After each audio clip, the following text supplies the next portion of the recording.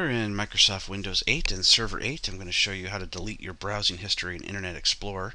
Just go ahead and open up Control Panel, All Control Panel Items, Internet Options.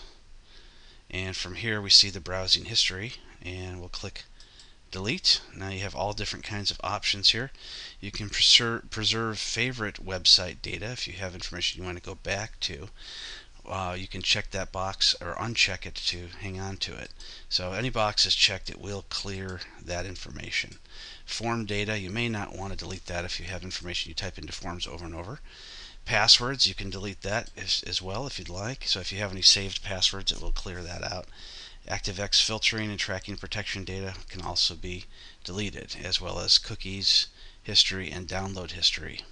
And if you decide you want to delete all those, just go ahead and click the delete box. It will clear that out, and when it's done, you'll see that it's the, the box goes away, and you can click OK.